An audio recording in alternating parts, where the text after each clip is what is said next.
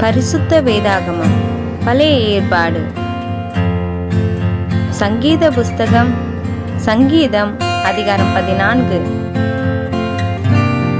ராக தலைவனுக்கு ஒப்புவிக்கப்பட்ட தாவிதின் சங்கீதம்.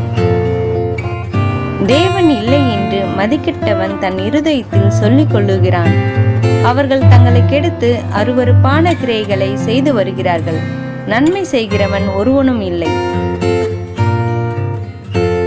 தேவனை தேடுகிற உணர்வுள்ளவன் உண்டோ என்று பார்க்க கர்த்தர் பரலோகத்திலிருந்து மனுபுத்திரரை கண்ணோக்கினார்.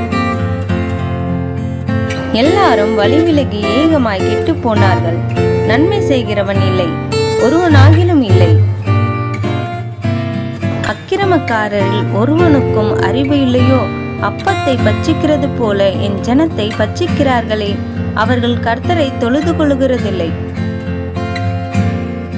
அங்கே அவர்கள் மிகவும் பயந்தார்கள்.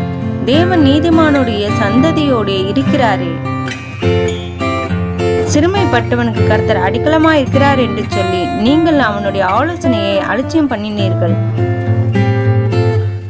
சியோனில் இருந்து இஸ்ரேலுக்கு ரட்சிப்பு வருவதாக கர்த்தர் தம்முடைய ஜனத்தின் சிறையிருப்பை திருப்பும்போது யாக்குப்புக்கு கழிப்பும் இஸ்ரவேலுக்கு மகிழ்ச்சியும் உண்டாகும்.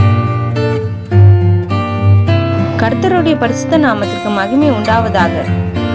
ஆமேன்.